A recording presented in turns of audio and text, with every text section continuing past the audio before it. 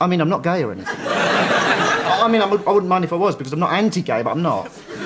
Gay, I mean. I, I miss the old man. I really, I really miss him. Listen to me, Martin. That there's something I have to tell you.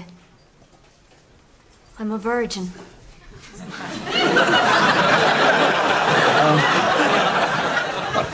Fine. No, it isn't.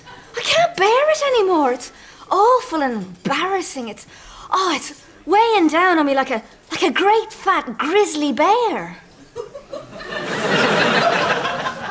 I know just how you feel. You don't mind then that I'm inexperienced. No, no, that, that, that's, that's, that's cool. I mean, you know, I think I could handle that. I mean, not. You know. Great. Uh, the moment I met you, I thought you might be the man for the job.